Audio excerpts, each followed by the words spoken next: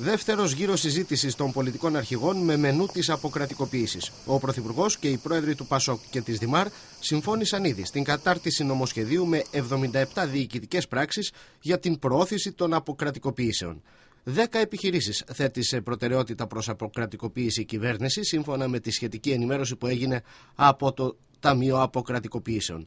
Σύμφωνα με πληροφορίες του ΑΠΕ, πρόκειται για τις περιοχές Ελληνικού, Αφάντου στη Ρόδο, Κασιόπη, το κτίριο του IBC, το Golden Hall, τα κρατικά λαχεία, τη ΔΕΠΑ, τη ΔΕΣΦΑ, τον ΟΠΑΠ και 48 ακίνητα του δημοσίου.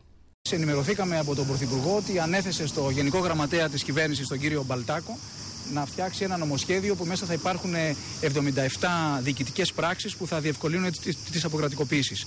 Και αφορούν κυρίως τρία υπουργεία: το Υπουργείο Οικονομικών, το Υπουργείο Υποδομών Ανάπτυξης Ανταγωνιστικότητας και το Υπουργείο Ενέργειας. Δεν πρόκειται για εκποίηση αλλά για αξιοποίηση της δημόσιας περιουσίας, διαβεβαίωσε ο Ευάγγελος Βενιζέλος. Οι αποκρατικοποίησεις δεν είναι ένα πρόγραμμα εκποίησης, αλλά ένα πρόγραμμα αξιοποίησης της περιουσίας του δημοσίου που συνδέεται με άλλα επενδυτικά προγράμματα και με τη δημιουργία θέσεων εργασίας. Ο Φώτης Κουβέλης επέμεινε στην ανάγκη διασφάλισης του δημοσίου συμφέροντος. Ναι, η όποια αποκρατικοποίηση θα πρέπει να εξασφαλίζει την εξυπηρέτηση του δημοσίου συμφέροντος, θέσεις εργασίας, ουσιαστικές επενδύσεις και προφανώς με κανόνες και όρους νομιμότητας και διεθνούς διαφάνειας. Για τις αποκρατικοποιήσεις ο ΣΥΡΙΖΑ εκτιμά ότι η επιλογή της κυβέρνησης να ξεπουλήσει το δημόσιο πλούτο, όπως έκανε και με την Αγροτική Τράπεζα, αφαιρώντας από την ελληνική οικονομία κρίσιμα εργαλεία για την παραγωγική ανασυγκρότηση της χώρας,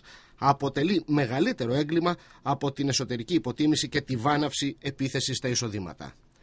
Οι ανεξάρτητοι Έλληνες κάλεσαν τους κυρίους Σαμαρά, Βενιζέλο και Κουβέλη να μην πλανώνται ότι μέσα στον Αύγουστο θα παραδώσουν φιλέτα του ελληνικού δημοσίου στα χέρια προνομιούχων αγοραστών, χρησιμοποιώντας διάφορα επικοινωνιακά ισοδύναμα, όπως η επιχείρηση Ξένιος Ζεύς.